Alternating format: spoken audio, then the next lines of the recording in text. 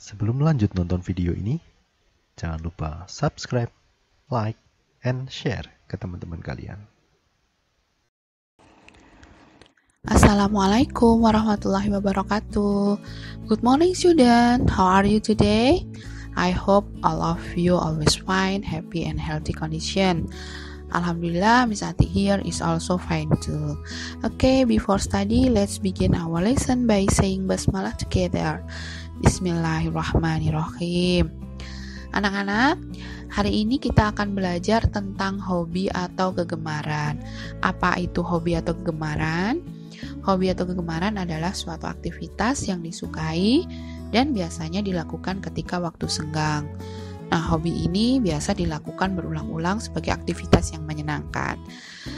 Uh, berikut ini ada beberapa contoh kegiatan yang merupakan kegemaran atau hobi. Mungkin kalian juga sering melakukannya karena kalian menyukai kegiatan ini. Misalkan saja berenang, swimming, bermain basket, playing basketball, berselancar, surfing, memasak, cooking, berkemah, camping, berkebun, gardening, menyanyi, singing, membaca, reading, menari, dancing, bermain sepak bola, playing football, bermain volley, playing volleyball, mendaki gunung, hiking, panjat tebing, climbing, kemudian menggambar, drawing, memancing, fishing, arung jeram, rafting, melukis, painting, bermain gitar, flying guitar, mengoleksi perangko, collecting stamp atau filateli, bersepeda, cycling,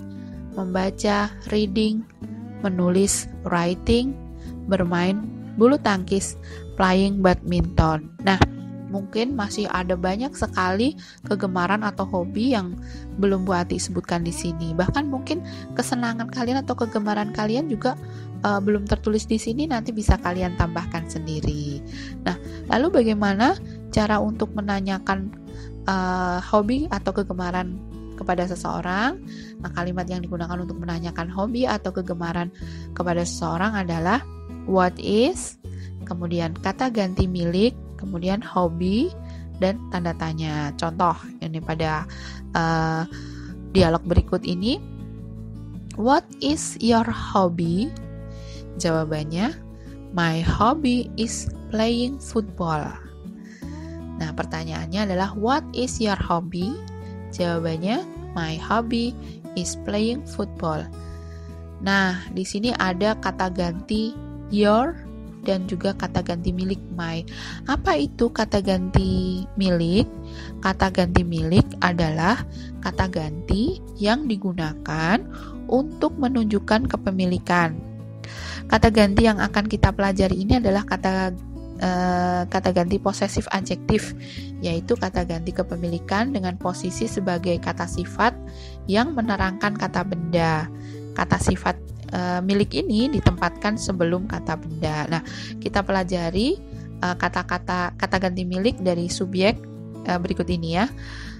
I, subjek I itu kata ganti miliknya menjadi my.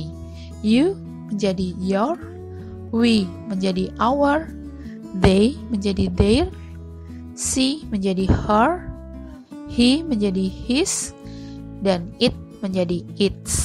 Nah, lalu penggunaannya seperti apa? Penggunaannya bisa kita lihat pada contoh berikut ini. Ini adalah contoh penggunaan uh, kata ganti milik dalam kalimat. Yang pertama adalah my hobby is swimming. Hobiku berenang.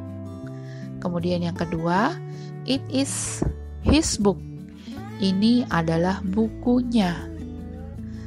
Kemudian yang ketiga, your jacket looks nice. Jaketmu terlihat bagus. Yang keempat, our teacher is a nice man. Guru kami adalah orang yang baik. Jadi kata ganti uh, milik ini diletakkan di depan kata benda. Kata bendanya nomor untuk contoh nomor satu adalah hobi, yang kedua book atau buku, yang ketiga jaket, yang keempat adalah teacher atau guru. Nah, e, bagaimana anak-anak? uh, untuk keterangan tentang kata ganti milik ini. Semoga kalian bisa memahaminya ya. Nah, untuk tugas kali ini uh, kalian tidak perlu mengerjakan soal, tetapi uh, untuk persiapan penilaian tengah semester, kalian mempelajari materi yang sudah kita pelajari bersama, yaitu tentang telling time, daily activities, dan juga hobbies. Nah, anak-anak, uh, semoga kalian nanti diberi kemudahan ya dalam mengerjakan soal-soal PTS. Uh, selamat belajar anak-anak, selamat menempuh PTS, tetap semangat dan semua kalian semua uh, tetap diberi kesehatan, diberi kemudahan dan juga diberi kelancaran dalam mengerjakan soal-soal nanti. Amin. Anak-anak, uh, kita tutup pelajaran hari ini dengan bacaan hamdalah bersama-sama alamin Wassalamualaikum warahmatullahi wabarakatuh. See you next time and bye bye.